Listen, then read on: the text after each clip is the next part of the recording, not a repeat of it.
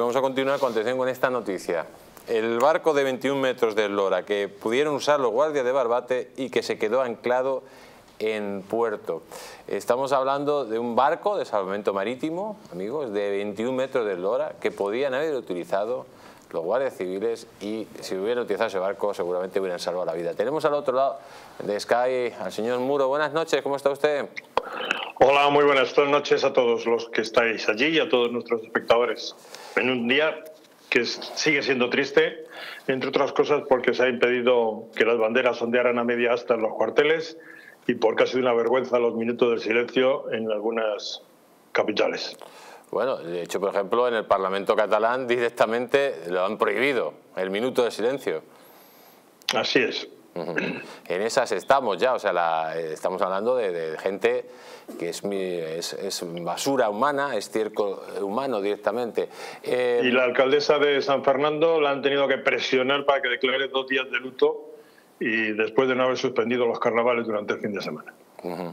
Eh, bueno, aparte de esto estamos viendo que se podía haber utilizado un barco de salvamento marítimo y haber evitado la tragedia. ¿Por qué no se utilizó cuando estaba en perfecto estado y disponible? Eh, tú hacías antes una pregunta muy directa, que es eh, si a quién interesa. Evidentemente eh, se puede ver que no sabemos si le puede interesar, pero sí quién tiene interés en que Oconsur haya desaparecido y evidentemente son los, las mafias de la droga, los narcotraficantes que ahora acampan a su respeto por la línea de la Concepción. No sé por qué no se utilizó esa embarcación. Lo cierto es que, según ha declarado la propia Asociación Unificada de la Guardia Civil, había seis embarcaciones en Cádiz que no estaban disponibles porque están estropeadas, al igual que están fuera de servicio prácticamente las de Almería, incluso una embarcación rápida que no pueden utilizar porque falla más que una escopeta de ferias. Y hay que decir que, según se ha conocido en un informe muy reciente de hace unas semanas, eh, la tercera parte de las embarcaciones que tiene la Guardia Civil tienen más de 20 años de antigüedad y la vida útil de estas embarcaciones es de 15. Es decir, es un auténtico desastre, una auténtica desidia por parte del gobierno lo que ha ocurrido. Y si me permites, eh, voy a recordar unas unos datos o una, para que la gente se haga una composición del lugar y que cada uno pues piense lo que le parezca.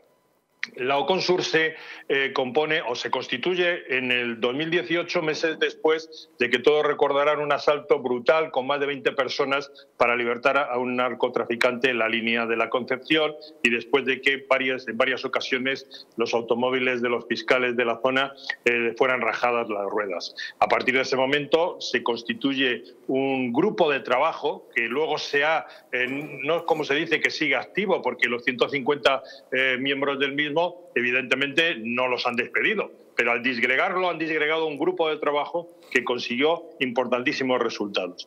¿Qué ocurre? Bueno, pues todos recordarán que según el Parlamento Europeo, en mayo del 2021 el teléfono de nuestro presidente del gobierno fue hackeado y según el, el Parlamento Europeo, casi con toda probabilidad, fue hackeado con Marruecos. Todavía no se nos ha dado ninguna explicación de qué contenía ese teléfono. Pero lo cierto es que un año después, en mayo de 2022, se produce un giro copernicano, también sin explicar, en las relaciones de España con el Sáhara y se le entrega el Sáhara a Marruecos. Nada más y nada menos que dos meses después, eh, Fernando Grande Marlasca se reúne con el Ministerio del Interior de, Marruecos y dos meses después, pues eh, alguien decide cerrar o Consur sin dar tampoco ninguna explicación. Estamos un gobierno que presume de transparencia, no tiene ninguna transparencia, está haciendo las cosas sin dar ningún tipo de explicación. Hasta el fiscal general del Estado ha reconocido que a la Fiscalía no se le explicó por qué se cerraba Oconsur y evidentemente cuando no hay explicación tenemos todo el derecho del mundo a pensar en lo peor. ¿Quiénes estaban más interesados? Pues evidentemente los, los narcotraficantes y evidentemente probablemente quien lo respalda, y hay que reconocer que las mayores plantaciones de hachís se encuentran en Marruecos. Bueno, las mayores plantaciones de hachís se encuentran en Marruecos, pero también la Consur estaba acabando con el tráfico de cocaína allí. Y la, cocaína no viene de Marruecos, viene de Hispanoamérica.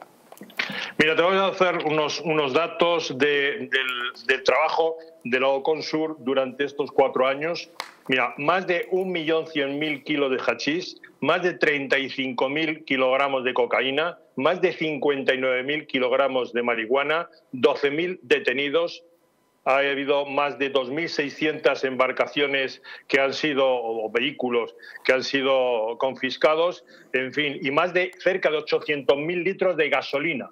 Es decir, si después de todo esto alguien va y cierra un grupo operativo que está funcionando a las mil maravillas para dispersar a los miembros de ese grupo operativo, pues es evidente que eh, es un negligente y por lo tanto tiene que cesar o le tienen que cesar automáticamente o es un involucrado o un implicado en el error se comete al cerrar ese grupo operativo, porque estas cifras dejan a las claras que eh, estaba funcionando. Las declaraciones de los fiscales de este fin de semana han sido tremendas, eh, criticando la actitud del gobierno, esa dejadez por parte del Ministerio del Interior, el abandono al que tiene sometido a las fuerzas del orden en esa zona, los alcaldes de la zona, las asociaciones de vecinos de la zona, todas confirman que en estos cuatro años había cambiado radicalmente el, tráfico de droga en esa zona de, España y que de repente alguien decidió una buena mañana ceder el Sáhara Marruecos y otro decidió una buena mañana acabar con el Ocosur.